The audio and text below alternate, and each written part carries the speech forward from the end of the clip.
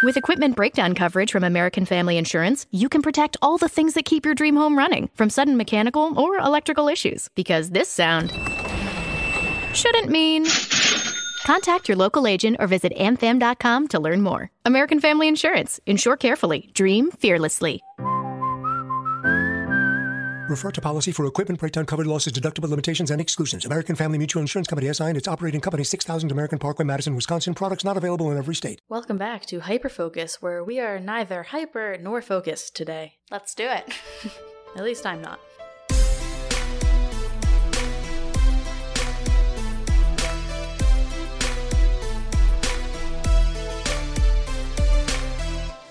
Hello to all the people who should be studying for their finals right now, but instead are procrastinating with this podcast. Welcome to Hyperfocus. That's, that's funny because it also applies to me. Yeah. yeah. Same. This We're doing good. This podcast is absolutely like my procrastination route. I'm Oh like, yeah. uh I I don't want to I don't want to study. I have to work on the podcast. Sorry, professors. Well, they can get over it. They're most They're not hosting a they're, podcast. They're like half of half of them are business professors. What we are they going to do? We both had one professor who I know has not let a me run my business. What? That would be very awkward. What? said we both had one professor who we know has run a podcast, but other than that, they're not running a podcast. They can't judge. I'm sorry. I just thought I heard a siren. I heard a siren. okay. You're not crazy. I was distracted. yeah, you're good. I'm neither hyper nor focused. Um, this episode's going to be plenty chaotic. Oh, so good. It's good. Good. Um, so without further ado, because Rachel's neither hyper nor focused, Nor, n- nor focused, hasn't got into some kind of a rant yet, I'm going to go ahead and get into apologies. Mm. So, for the last episode, first of all, I want to apologize to anyone who's heavily and thoroughly convinced that they have seen cannibalistic feral people on the Appalachian Trail who I Rachel didn't just say they didn't exist. who Rachel just doesn't believe. That's not what I said. Um, I also want to apologize for the sheer number of trigger warnings that Rachel used in her last episode. Would you have preferred that I didn't no, give trigger no, just the fact that they were all necessary. I just want to issue an apology for that. Um, And finally, I think the most important, most crucial, and most offensive thing that happened in the last episode. Um, I want to apologize for the fact that Rachel had to think for a moment before realizing that Tarzan and the Jungle Book are not the same movie. so there you I'll go. accept that.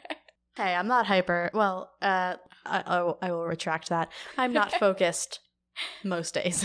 All right. Well, as my final apology, um, I wanted to apologize on my own behalf yeah, for I I can't because imagine which one this is going to be. There's so many things you could say. Well, I was going to apologize on my own behalf because I'm going to be leaving the podcast soon. She is. She's abandoning me. Yeah. This has been a really cool experience. I'm really grateful for all that I have learned on this pod. nice. That was the worst time. I'm really grateful for all that I've learned on this podcast to have gotten to work with Rachel. Um, it's been fun to get to learn this. I'm getting married very soon. We're going to be living in kind of different areas. Um, and it just made kind of. I'm going halfway across the world yeah. for a while. Yeah. for a little while. Um, but anyway, it just made most sense for me to move on to this podcast. You'll get to keep Rachel. We all know you prefer her anyway, Mhm. so it'll be fine. Thank you. That was a very Um, good parting. She'll find someone to else to that. sing her praises in this chair. Listen, so uh, if you have a topic idea or you think you can do this better than Lauren, send us an email. Yes, please do. Um, we won't be If you accepting. want to replace her. Let's see. Uh, we will be accepting resumes. The only uh, content that Oh we want gosh. on your resume. The only content that we want on your resume are the random things you have studied. I just we had a want really good you to idea. have, include the dates. We want you to include where you studied, what sites you studied it on. No actual work experience. I just had a really good idea. Either we do something like that where people have to make like really specifically weird resumes, Mhm. or we do one of those like Google Forms things and put it on TikTok and see what happens. That would be awesome. That'd be really good. Yeah. But anyway, so you are you do still have me for a couple more weeks, um, but I will be leaving shortly. So we wanted to give you a heads up so that you could either count Grieve. down the days or grieve. I said something nice. Oh, thank you. I said that people would grieve. Yeah. oh Um, my gosh. All right. Well, it's uh it's been fun. It's been real. It's been real, but she has decided that a man is more important than me. Once again, I wish we had access to the clip from New Girl. Please hold while I turn down my mic. A white man? No! Um, my whole building just heard that. Wouldn't it be Uh, funny if somebody who lives in our building heard this podcast and was like, "Oh, that's what that was." the sacrifices I make, we make for this podcast, uh, Anyways, ladies just, and gentlemen, just completely throwing all caution to the wind when it comes to what people think about us. Uh, probably our upstairs neighbors yeah, hear us. Maybe Yeah. our downstairs neighbors. I don't know. could be. Um, but anyways, Lauren's leaving, yep, I am leaving. and I turned it into this somehow, and my ankle just cracked really loudly. Happy finals week. um, oh my gosh, I don't want to talk about it. so, um, would you like to talk about soda instead? Wait, I'm not done talking You're about done? you. Oh, okay. Believe it or not, Oh. I'm going to take a moment to not talk about myself, but to talk about you. Aw. Yeah, it, that's that's big. Yeah. Um, send us on all of our social medias, our email, whatever. Send us your favorite Lauren moments from the podcast. I would like to. Uh, I don't know what I'm going to do with that yet, but I feel like there's something good there, um, and I want to do something with it. So tell us what they were, or send us clips, whatever. I'm terrified and also very curious now, Mhm. so you need to do that. do it. And it also, it doesn't even all need to be from the podcast. Send us, you know, clips from uh, TikToks and stuff like that. Anything weird, interesting, or stupid Lauren has done, please send them our way. And Most things I do qualified as either I- weird, interesting, or stupid. I, I will intercept all of them before she sees them, so don't even worry about it. All right. Are we going to do this or what? all right, let's let's, do do, it. it. Um, all right. So, do you want to talk about soda instead of finals? Um, I have a confession. Go ahead. I don't really like soda. Yeah, I don't either. That's not the point. okay. Um, you actually might like it less after this episode. Ooh. so that's Is good. this about Mountain Dew? no? Okay. All right. This isn't about how you can dissolve a rat in Mountain Dew. no. Okay. Although that would be a fun one. Um, I feel like that's some Rhett and Link content. That takes like us, a whole. It takes like a whole month. People are like you can dissolve it in Mountain Dew. You can literally dissolve living things in like any liquid in a certain amount of time. Like, come on. Uh, But it is probably faster in Mountain Dew anyway. I'm taking over this All uh, right. topic. What? So- go continue. so, so it's 1990s. Coca Cola has taken over the market. Yes. Pepsi was not happy about it. Mm-mm. What else is new? Literally nothing. you just described most examples in business textbooks. Yes, yes. Yeah. Um, that's actually one thing I was going to say. Rachel is a business major, so I'm Is this in- about Russia? No, Oh. I am. There have been a lot of Pepsi related scandals. I feel like we could do an entire month of episodes on Pepsi. Um, this one was one that I found very interesting. Um, so I wanted to talk about. I will say there is some stuff here from business marketing perspective that'll be very interesting to Oh, hear. Okay. Interested to hear Rachel's analysis on at the end Lauren or doing throughout the episode. Lauren did a business project. well, yeah, that sentence. let let me say this. Um, this scenario sucked about as much as if I did a business project. so, um, Coca Cola and Pepsi fought it out in several different ways, including espionage and other things like that. Mm. Um, Pepsi was once caught cooking the books that it looked like they had better sales than Coke, and Coke had better prices, so they outsold Pepsi. Um, within the middle of this, Pedro Vergara, who worked for the company in New York, came up with an idea that he thought was going to save the company. Pepsi started a brand new campaign called Wait. Number Fever. I know what this is. I do know what this is. Yes, good. I do know what this is. I was is. kind of hoping you would because Yep. it's fun. It's uh, it's wild. Yeah. So it caught on like crazy in the Philippines, and sales jumped from 10 million It to did. 14 million dollars, and the market share um, up to 26 percent. I will say, um, for those numbers, they were slightly different from different sources, but they were all very, very similar to one another um, in every What source. the market share percentage? Yeah, That's fine. they came across a little bit differently. So basically, the way that it worked, so Pepsi was obviously selling their soda, hopefully, and on the tops of the bottle caps, right under, um, Under on the bottom of the bottle caps. on the bottom of the bottle caps, the not part that's top. inside the bottle. Yeah. On the bottle caps, when you open it up, there was a three digit number on there. Um, and every night on Channel 2, um, a winning number would be announced. So for this, most often the prize was equivalent to about $5 nowadays in pesos, which would be about 100 pesos. Um, but they had made a total Wait, of 18 millionaires. The Philippines uses pesos. Yes. Huh. Or they did in 1992. Um, so Should have known that. Pepsi had made 18 millionaires um, at this point. The promotion promised people in the Philippines. Philip, wow, I said the Philistines. Wait, they they made All right, hold on. millionaires. So this promotion they were giving away five dollars. You said. hold on, let me rephrase all that. So this promotion promised people that they could be millionaires if they won. So a million pesos would be now equivalent to about thirty-seven to forty thousand dollars. That's a lot of money to win from buying a soda that you probably would have bought anyway. So although most of the prizes were around hundred pesos, so five dollars, which would be equivalent to five dollars Okay, now. so it was like a grand prize. Yes, exactly. Um, but 18 people had actually won that grand prize and become millionaires.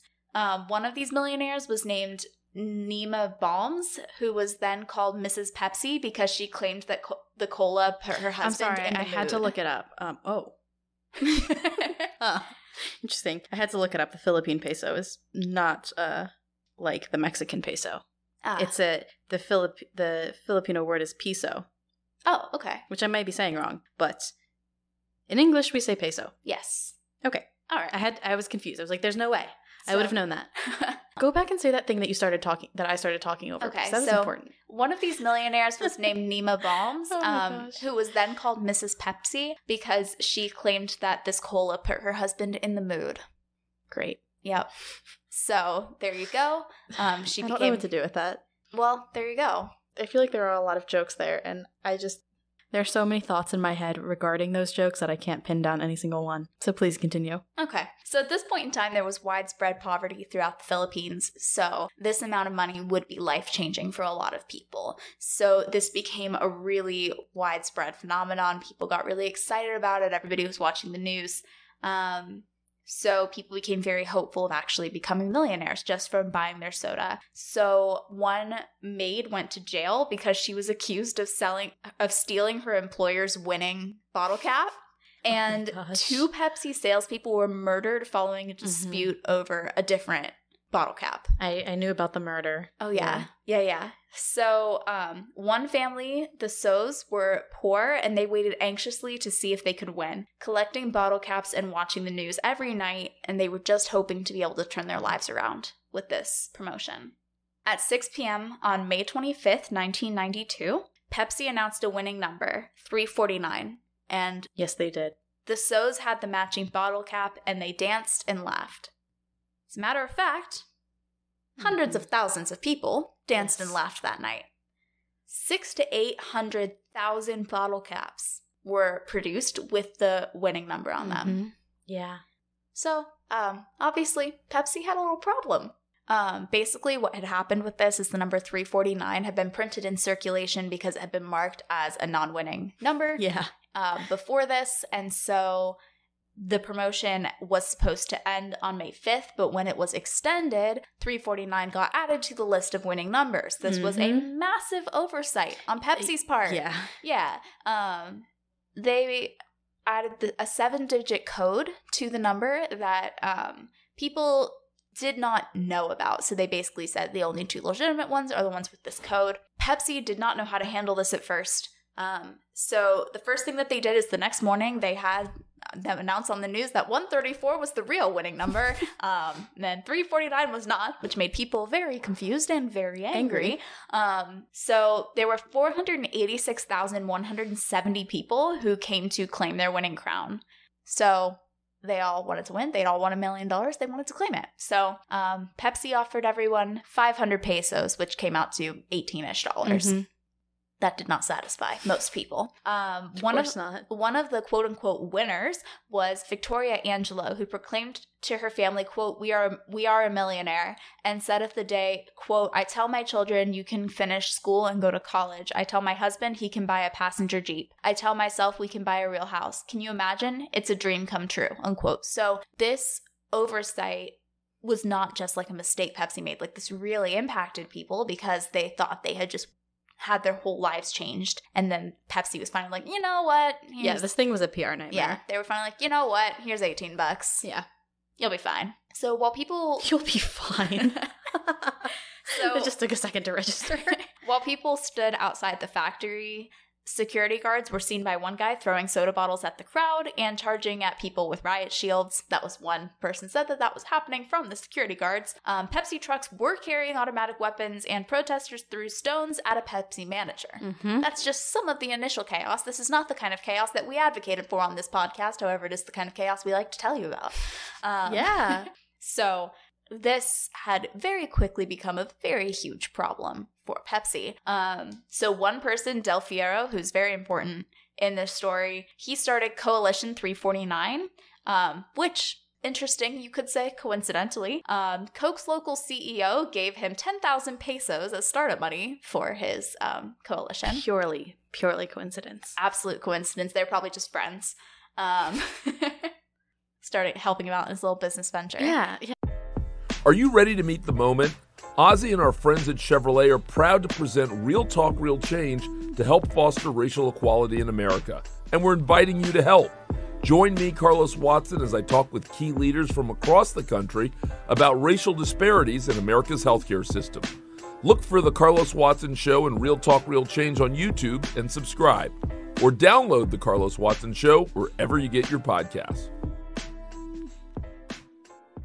Yeah, it's just some startup money. Oh, yeah. So, Coalition 349 held rallies outside of Pepsi plants, and Del Fiero prepared a lawsuit, hoping to make it to into a class action lawsuit. Mhm. So, several other groups, such as United 349 and Solid 349, charged or came together, but they charged fees for membership um, that were probably more than fair. The Sows, who's the family that we talked about in the beginning, um, they signed up with a guy who was a preacher who said that God had called him to fight Pepsi. So there was just a lot of different um, chaos going on about this incident. There was a lot of anger. Um, people began buying off 349 bottle caps just in case Pepsi Yeah. did end up offering Yeah. a big payout in the future. Mhm. So 10,000 claimants actually filed suit against Pepsi within the next How few many? months. 10,000. Okay. Um, Molotov cocktails were thrown into Pepsi factories and delivery trucks. Executives had to travel with bodyguards, and many employees were moved out of the country. If a word of advice, Yeah. um, if you want money from a company, I don't recommend destroying their assets. Uh, might it be effective? Maybe, but it also might make them unable to pay you. it's possible. Um, but executives were also receiving death threats. Yes. Mm-hmm. Um, so this was a very dangerous situation for Pepsi employees because they had made a very stupid mistake. Yes. Um, people were very angry because they thought their lives would change and they had been lied to. Um, because Pepsi, they felt that Pepsi did not fall through on their promises, especially when Pepsi came forward and was like, "Oh no, we had the security card." The security codes, only those two are valid, but they had never included that as part of the promotion. Also, when they changed the number the next morning, it was just some really It was a shady stuff No, that they tried to do at first that made it very, very understandable why people would be so angry. So, January of 1993, Pepsi had to pay a 150,000 peso fine to the Department of Trade and Industry for deviating from the promotional campaign that the government had approved. I'm sorry. Say again. They, they had to. I was putting in my order for dinner. they they had to pay it to who? Um, To whom? the Department of Trade and Industry, because they had gotten approved for this promotion by the government, Okay. the government was like, "You deviated from what you said you would do," and so they had to pay that fine. uh, So Del Fiero was able to sign up 800 total claimants. He's the one who was trying to put together the class action lawsuit. Um, so he looked to bring the fight to New York himself. mhm. Um, he in February. Oh, and then also like moving chronologically. So this is this incident happened May 25th of 1992. It was January 1993 that they paid the fine. Um, and then in February, a homemade bomb was thrown at a Pepsi delivery truck. Yeah. Um, and it killed a school teacher and a five year old standing nearby, and it injured another five people. So this ended up becoming Not good. no, not good. These riots became very, very deadly and lasted for a lot of months. Um, the next month, a grenade was thrown into a Pepsi plant and it killed three employees. Mhm. So, obviously, the situation had gotten very out of hand. I I want to know who this. The one thing that I've been thinking about is I want to know who the like singular person was who made this mistake happen, and I want to know what happened to them. I mean, yes, it probably had to go through approval of a couple people, but someone is probably responsible for that mistake. Yeah. Um, I want to know. I want to know who it, who it was, and I want to know what happened to them. But Yeah. a lot of other countries say that uh, that's one thing that they don't like about American businesses is that it's very hard to pin down. Our roommate is tiptoeing through the kitchen, trying not to make noise. Goodbye. Unsuccessfully, she just spoke. the door creaks open. She looks at me, waiting. Whatever. Literally whatever. What I was saying was something that doesn't really matter. I don't really know how to contribute to this without just like spewing business stuff at you, and I don't think that our listeners are going to find that interesting. So uh, I'll All just sit here and drink my water. So, Del Fiero's lawsuit finally came to New York in late July, so a full year later. Um, he brought up a Philippine, I almost said Philistine again. You got to stop that. Yeah, I know. um, he brought up a Filipino Senate report that claimed that the company was guilty of, quote, gross negligence and, quote, misleading or deceptive advertising, unquote. Of course, Pepsi contested this because it was the Filipino Senate. So Del Fiero sought $400 million in actual damages and $1 in moral and exemplary damages. That can't be right. Must be 1 million in moral and exemplary, not $1. Sometimes that happens. regardless, Del Fiero fought it, but he did not succeed at that point in New York. Um, some- Concrete jungle where dreams are made of. yeah. There's nothing you can't do. Uh, some people claimed that Pepsi had hired people to bomb their own trucks um, as a publicity stunt, and People's Journal had an article titled, quote, I mean, it wouldn't be the first time a business had done no, it would like not. that. And Pepsi had done some very shady things in the past. Yeah. So, um, People's Journal had an article titled, quote, Pepsi goons bombed own trucks. I loved Sounds that. right. I thought that was great. Um, February of 1994, the company actually lost a 349 court case. Um, and in July, 50,000 cap holders that were organized, passionately fighting for the prize they had won. Moving forward to November, hundreds of 349 winners wielded torches n- near Manila's palace, which is where President Bill Clinton was staying. Mm. So they were asking for help from America. Their lawsuit was over in New York. It still was there at this point. Um, they wanted Bill Clinton to help. That was not successful. They soon heard back from New York because New York court dismissed the lawsuit because they said it needed to be heard in the Philippines. Yeah. Every time I hear about this, I just like don't even know what to what to like say Yeah. or do. I it's it's surprising to me sometimes that Pep that Pepsi uh survived after this. Yeah, yeah. Because it's like it was just so stupid.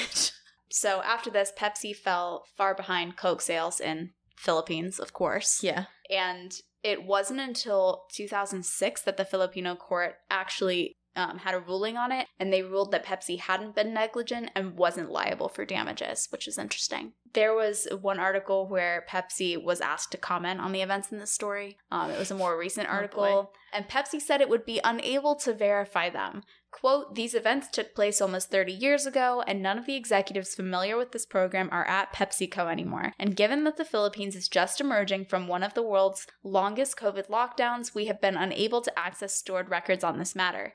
And they also said, we deeply regret any pain and suffering our mistakes caused the people of the Philistines. Okay. Unquote. The Philistines, you did it again. I did it again. The people of the Philippines. Unquote.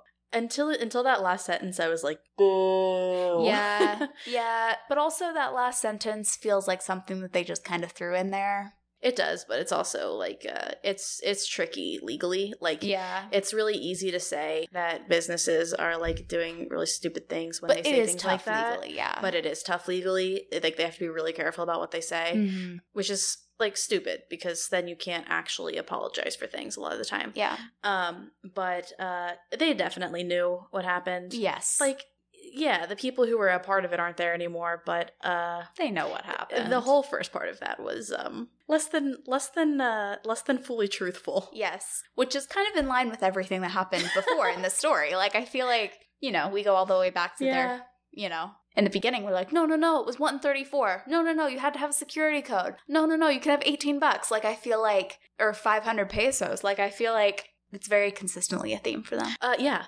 So the So family, who I mentioned very early on, uh, Marilee So, who's now in her early 50s, she runs a store in Manila. Her husband died um, a couple of years after this incident, uh, but she still will not sell Pepsi in her store. Understandable. Yes, very understandable. So that's what I have on this story. Um, I think I've I've told you all of my opinions now. yeah, I Uh, think you have. don't do this. No, Uh, don't do Hey, this. business owners, from from one business owner to another. Don't do this. No.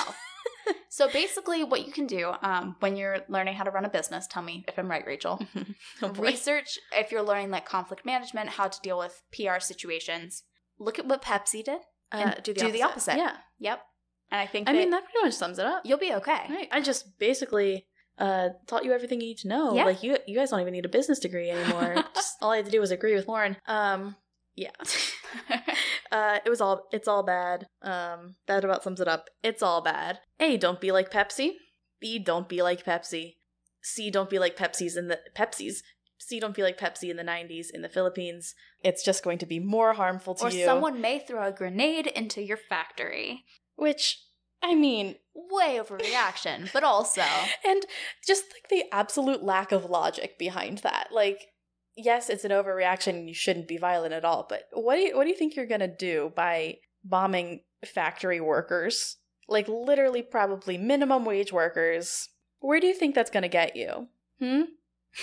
I don't like I there's not a single good reaction in here except for the guy who like started a class action lawsuit which yeah, Good which job. is great. He did Right. awesome. and, I the think- woman who stopped selling Pepsi that yeah, was good there were, I think, a lot of people who did respond kind of similarly Yeah, to that yeah. or supported Uh, people but like but that. it doesn't really And get I do wanna reported say, as like, much Yep, the violence. I think, especially in this, like there were, of course, it's really sad that anyone died. It's really sad that anyone was injured. Right. But those also were very isolated cases that didn't seem to me like that was the majority of the protests. Well, it doesn't seem like they were super isolated because they Yeah. happened multiple times. That's multiple true. Stories. That's very true. But, what I'm saying but is, I'm- there were like hundreds of thousands Yeah. of people who got 349s and Yes. didn't do that. and they didn't do that, and they had a very legitimate reason to be upset. Also, so both things are true. yes, Um. So that's al- that's always what I say in those situations. Like when when people try to blame a uh, a large group of people Mhm. for violence, when it's a couple people people in a group being violent, violent people will find reasons to be violent.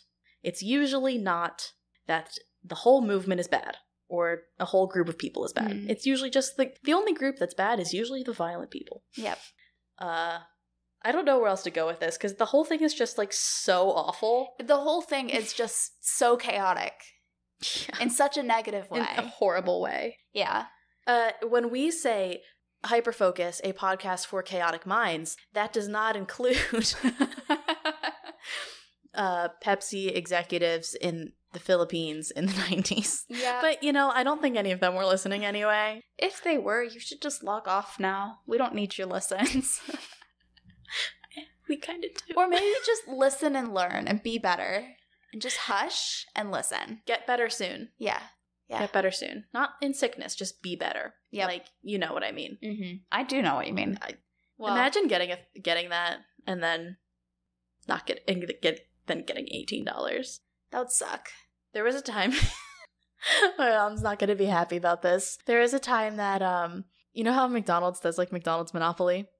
No. Okay, well they do. It's like a promo they do, and you basically Okay. get like little uh like on drinks and food and stuff. There's little like peel off tabs, and you can like collect Okay. like the Monopoly spaces and get free stuff. Okay. And there was like a time when my mom thought that uh like she had like won a million dollars. because she thought she had like the right combination of stuff and she got home and my brothers were like, This isn't right. and why didn't you bring us McDonald's? Aw. We laugh. We laugh about that. That's very funny. We roast my mother. Hi mom. I don't I don't know what to do here, bro. It's like I'm either gonna give you a business lecture or I know what they could do here. They could go follow us on Instagram. Oh my gosh. Okay, I never actually ordered my dinner, so I'm gonna do that now. Uh, I will not be buying any Pepsi products. Good. That's what they have. They have Pepsi products. No. It's okay. I don't like soda anyway. As I said, nice bookend. Let's finish. Let's All finish right, the, all right. The, the cast, the pod. What? What are you looking at me for? You can follow us on Instagram at Is that what I sound like to you? You can follow us on Instagram. Okay. No, you do not. All right, like you that. can follow us on Instagram at. Hyperfocus pod. You can follow us on Twitter. Hyperfocus underscore pod. Why'd you stop doing the voice? Because I, I was tired of it. Okay. Uh, you can follow us on TikTok and never have to hear that voice again. At Hyperfocus pod. uh, you can find us on Facebook. Hyperfocus colon a podcast for chaotic minds. We have both a page and a group. Um, you can come rant about Pepsi um in the group, and you can Yes, you see can. us rant about Pepsi on the page. Yes, you can. Uh, you can send us an email. That'd be hyperfocuscast at gmail.com. If you think that you can do Lauren's job better than her, Send us an email. do we have any listeners in the Philippines? I feel like we do. I don't know. Hey guys, what's up? Uh, We love ya. I would like to hear y'all's opinion on this. Oh, yeah, please. please send us an email with that. I'm dying. Or stitch our TikTok when it comes out this week. I'm so tired. We love ya. Stay chaotic and stay tired.